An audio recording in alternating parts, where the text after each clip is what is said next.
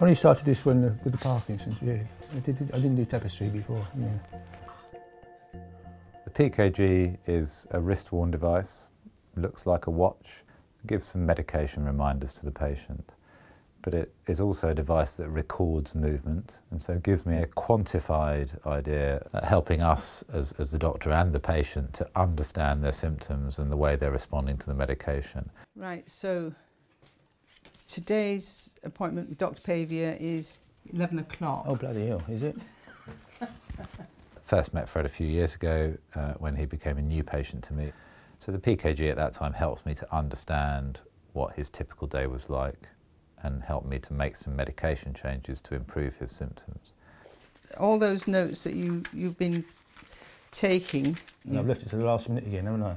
You have, but yeah. never mind, I, I managed to do it. Yes, you've got sort of one, yeah. two, sort of four yeah. or five different complete changes, changes, during a day, and unless you write them down, you're never going to remember what the patient says is incredibly valuable and nuanced and individualised. But I sometimes wonder how accurate that information is and whether they're actually just telling me about some of the symptoms they've had more recently in the preceding days or weeks. To be honest, sometimes I, I almost feel like I haven't got Parkinson's at all. And um, it, it, it sort of goes in waves, you know. But then it is important to keep a track of it because you, yeah, yeah, you sure, can't remember. Yeah, when, and it's yeah. completely unreliable. Well, you really need the, the sort of consultant to follow you around it, sort of It'd be with all you. day long, don't you? Hopefully, a PKG would would see that solve that problem really. So I get the impression that there's uh, some more uh, fluctuation. And so some information today about that, we could at least begin the process of talking to them about other therapies.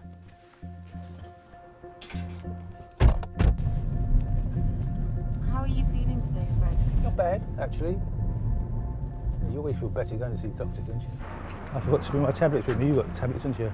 I've got them. Good. How are you? What's changed in the last sort of three I'm just getting stiffer, really. Stiffer in the mornings. Still no set pattern. This is the PKG we did last year, and that was after we adjusted your therapy.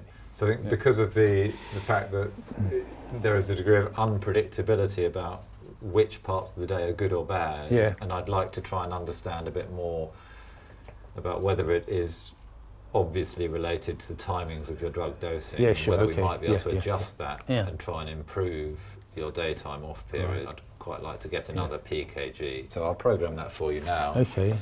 Um, this gives us an averaging over about a week, so we get a better understanding of whether there's any obvious pattern. Sure. Just turn it on. So now that's buzzing, and that pill icon tells you it's time to take a pill. Right. So do you want to practice acknowledging? So imagine you've taken your tablet now. There you go. When I've seen the PKG report, I'll, I'll give you a call. Okay. And we can discuss any medication changes. Yeah. Thanks a lot. Okay. Bye-bye. Bye-bye. Nice to see you today.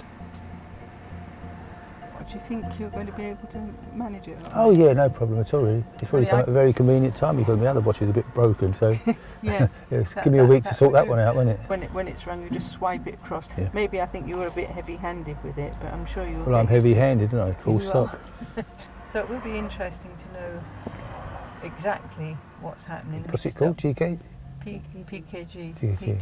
See, I knew to forget. Yeah. I'm not very good at remembering numbers and letters.